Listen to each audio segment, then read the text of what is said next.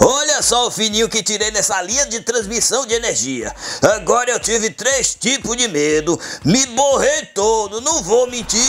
Mas o vídeo em nosso canal e dessa vez é para falar de obra que já foi concluída, como é o caso da Avenida Jaime Figura, que faz a ligação da estrada velha do aeroporto com a Avenida Gal Costa. Também vou falar de obras que está em execução, como é o caso da duplicação da Avenida Artemio Castro Valente, na região do Barradão. E vou falar também da construção desses prédios, onde antes era um clube de golfe, e como está a construção do hospital veterinário, hein? Nossa documentação são de obras que acontecem nessa linda e complicada cidade por nome de Salvador da Bahia. E é claro que vou falar do Santuário do Vitória, o estádio Manuel Barradas. E é coisa que a gente vai destrinchar nesse vídeo, recheado com as imagens do cavalo do cão e com bastante informação, bem na pegada aqui da comunidade VDS. Esse canal onde eu venho documentando os projetos que tem mudado a arquitetura dessa terrinha linda onde eu moro, esse planeta chamado Bahia. E não é por nada não, mas eu sou extremamente apaixonado por esse território. E nesse humilde canal eu faço questão de mostrar as transformações que acontecem por aqui. Se você gosta desse tipo de vídeo, peço a gentileza de se certificar que sua inscrição está no jeito e o sininho operando em alta. Mas falar a verdade para vocês, eu ando sonhando em chegar à marca de 100 mil inscritos. Desse modo, agarrar com gosto a plaquinha do YouTube. Ai, eu ainda te pego, danadinha. Me aguarde que você vai ver. Mas o negócio é o seguinte: nosso vídeo começa na Avenida Genário de Cavalho. Essa via que faz a ligação dos bairros do Dom Avelar, Vila Canária e fica aqui na região de Pau da Lima. Meu objetivo é documentar o andamento da construção desses edifícios que estão sendo implantados, onde por muito tempo funcionou um clube de golfe. O velho Golfe Clube agora está se transformando em uma cidade com esses enormes prédios.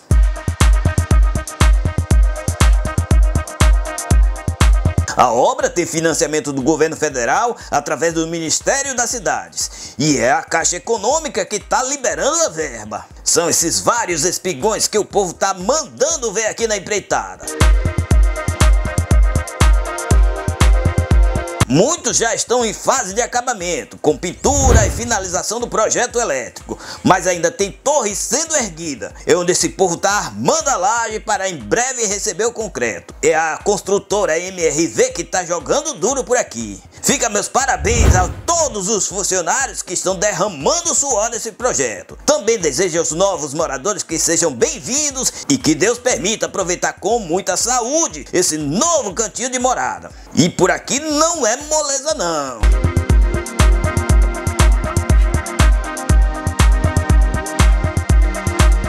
Como disse, essa região vai se transformar realmente em uma cidade, viu? Só a título de informação, Magenário Antônio Dantas de Cavalho foi pintor e tapeceiro. Nasceu em Salvador em 1926 e faleceu em 1971. Para quem quer conhecer um pouco da sua arte, tem um lindo e um enorme painel em um salão do antigo Hotel da Bahia, que hoje está renomeado como o Ishi Hotel da Bahia. Vale a pena conhecer essa obra artística.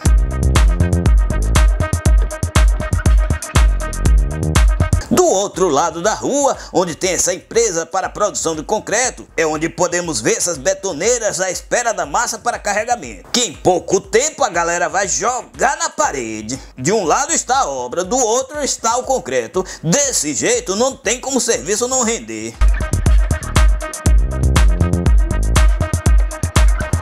E mudando um pouco de cenário, agora estou na Avenida Aliomar Baleiro. Para quem não sabe, aqui é a Estrada Velha do Aeroporto. Essa avenida tem início na Brasil Gás e segue até o bairro de São Cristóvão. Essa via foi construída durante a Segunda Guerra Mundial. O objetivo era fazer ligação entre a base aérea próxima ao aeroporto com a base naval, na região de São Tomé de Paripe. Mas meu objetivo é mostrar uma nova via que foi implantada nessa região. Trata-se da Avenida Jaime Figura. Essa nova avenida foi inaugurada no mês de março pela Prefeitura da nossa cidade. Havia uma importante ligação da Leomar Baleeiro com a Avenida Gal Costa.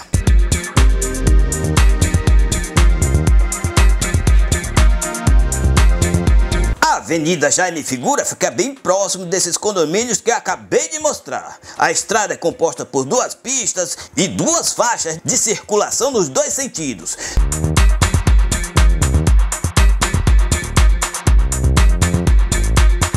Tem um quilômetro e 100 metros de extensão e foi feita em pavimento de asfalto. Também foi feita a macrodenagem e reurbanização e a contenção de encosta em solo grampeado. Tem passeio meio fio, iluminação em LED e ligação de água e esgoto com embasa para os moradores dessa região.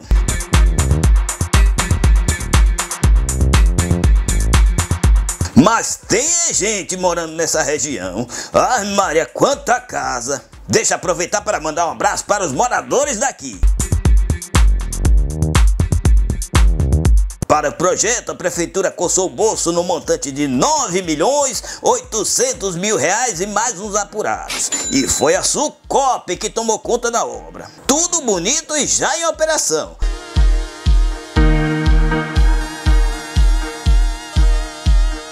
A proposta dessa via é para dar fluidez ao trânsito. Vai precisar mesmo. Com a implantação desses novos condomínios instalados por aqui, no antigo clube de golfe, teremos novos moradores e as vias dessa região sempre estão sobrecarregadas.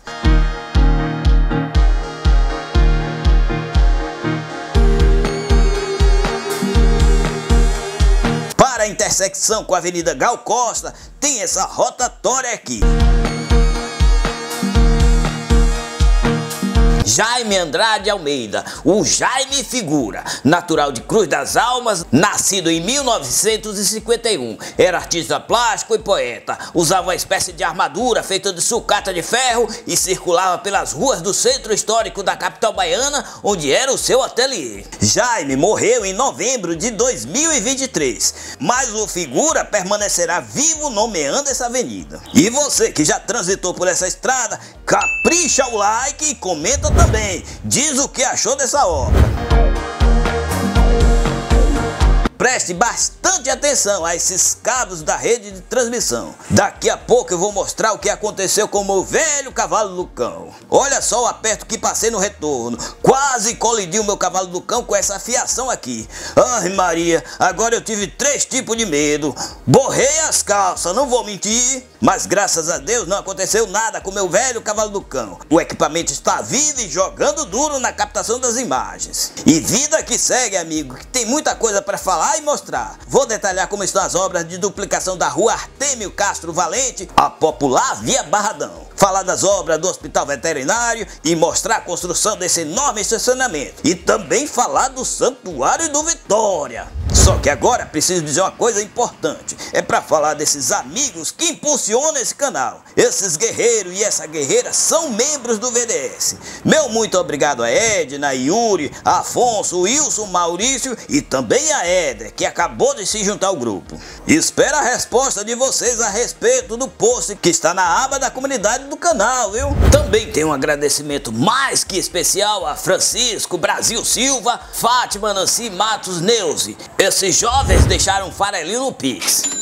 Meu muito obrigado de coração por vocês acreditarem e incentivar esse humilde fotógrafo a documentar esse território lindo onde eu moro. O VDS é um canal pequeno e a monetização que o YouTube me paga é bem fraquinha. Bate fofo, não dá pra nada. Mas tenho muita fé em Deus que esse trabalho vai prosperar a ponto de se tornar sustentável. E a todos que assistem os meus vídeos, peço a gentileza de não deixar minha voz se calar. Quero muito documentar esse planeta chamado Bahia. E sem a ajuda de vocês, a máquina não anda, né, jovem? E vamos dar continuidade aos nossos trabalhos do documental. E para isso vou mudar de cenário novamente. Não é por nada não, mas essa bandeira de Salvador já deu o que tinha que dar. Tá rasgada e meia acabadinha. Essas bandeiras estão nesses mastros em frente ao estádio Manuel Barradas, o Barradão. Esse local que tem um estádio de futebol e que é o santuário do Esporte Clube Vitória. E também é um centro de treinamento do time principal e para as categorias de bases.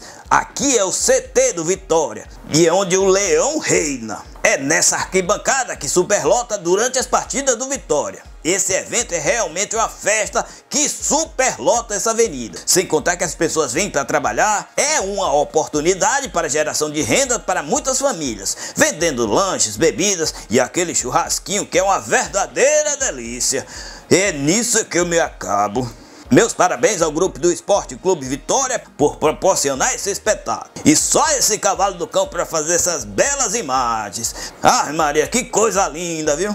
Ao redor daqui, onde funcionava o aterro sanitário de Canabrava, onde era depositado todo o lixo coletado na cidade. Em 1986, o time do Vitória se instalou por aqui. Desde então tem mudado para melhor a vida dessa região e de muita gente nessa redondeza. Vocês sabem que meu coração é tricolor, mas tenho o maior respeito por esse time que fez e continua fazendo pela população. 2001, o aterro foi desativado e deixou de herança um terreno amontoado de muito material que por muitos anos foram jogados. É o que podemos ver com essas máquinas revirando esse terreno. Muitos plásticos e todas essas tranqueiras aqui.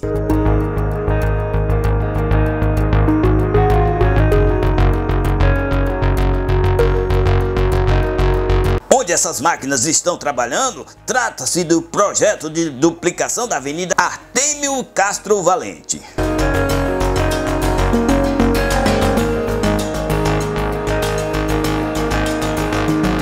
Nessa obra, que terá 1 km e 200 metros, tem início na Avenida Mário Sérgio Pontes de Paiva e segue até a Praça Júlio Rego, no acesso ao Barradão.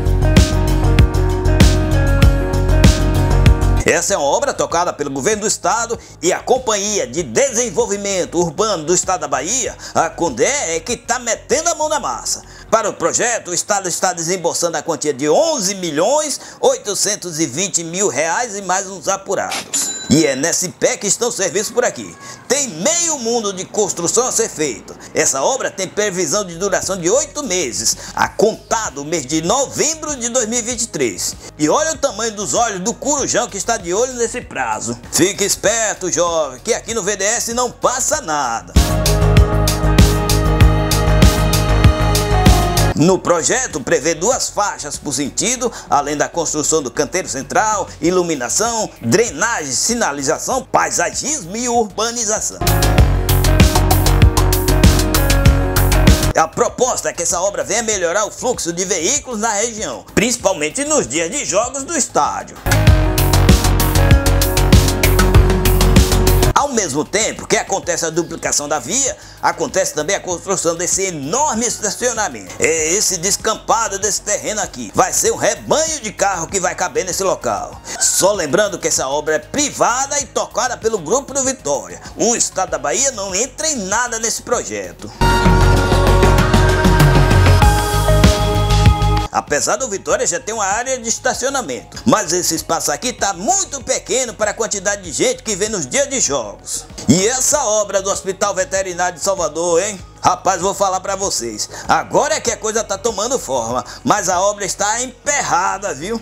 Para a construção dessa unidade, a prefeitura está desembolsando a quantia de 6 milhões 526 mil reais mais uns apurados. Pelo cronograma, esse projeto já deveria estar em operação desde janeiro de 2023. Aí é pedir para ser carimbado. Receba pela caixa dos peitos meu selinho de obra atrasada para não perder a viagem. E com isso deixa eu soltar aquele velho jargão. Desenrola, carretel, bota o povo a trabalhar e solta o hospital para atender os nossos animais um ano e tanto de atraso. Assim enfraquece a nossa amizade, né, jovem? Pelo menos agora já tomou forma, com aspecto de que vai ser entregue em breve. E com isso eu concluo essa documentação dessas obras que estão em andamento e dessa que já foi entregue à população. Espero que tenha gostado desse trabalho que faço com muito carinho e respeito ao nosso povo e nossa cultura. Se de fato gostou desse meu relato, deixa um like que ajuda na divulgação do meu trabalho. Agora, caso não tenha gostado, deixe um comentário dizendo onde eu poderia melhorar. Comentem também outros projetos que merecem a documentação aqui no canal. Fala o que você quiser e do seu jeito, que eu vou entender. Todos os comentários deixados são lidos e devidamente respondidos. Reforço meu convite para você se tornar um membro e ajudar a manter esse canal em operação. Ou deixa um pingadinho aí no Pix, que também fortalece nossa amizade. Se você não sabe, meu nome é Joa Souza, sou fotógrafo e eu viajo por todo esse planeta produzindo fotos e vídeos. E é por meio dessas imagens que eu faço as minhas narrativas. Agora preciso voltar ao refúgio do guerreiro, que é lá no bairro do Resgate. E com isso eu vou ficando por aqui, contando histórias através de imagens. E se Deus quiser, a gente se vê no próximo vídeo. E segure um pouco aí antes de sair do VDS, que tem duas sugestões de vídeos para você assistir. Veja como estão as obras da nova rodoviária e as vias de acesso na região de Águas Claras e Campinas de Pirajá. E também espia a requalificação da Ola Atlântica na região de Pituaçu.